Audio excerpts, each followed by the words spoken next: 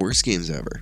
Poppy Playtime. Before I talk about this joke of a game, I would appreciate it if you liked and subscribed. There's a lot of cash grabs out there, but it's hard to see one as shameless as Poppy Playtime. Just focusing on the game, it's an extremely basic horror and puzzle game that only focuses on the latter until the last 5 minutes of the game. I had to put game lightly, because the main version most people played can be completed in about 30 minutes. If it was just the game, I would call it about a 3 or 4 out of 10 and leave it there, but the outside stuff makes it worse. At day 1, this game was made to sell merchandise and not be an entertaining game. That's why there's a merch button in the game. Not to mention, the original buyers got screwed over when the first chapter went free, with no compensation whatsoever. This game is too big to fail, and the type of people to watch this aren't the ones playing it, but I'll still let you know that it's a waste of time to play, even at $0. I also made a video about this game that you should check out by clicking the link in the comments.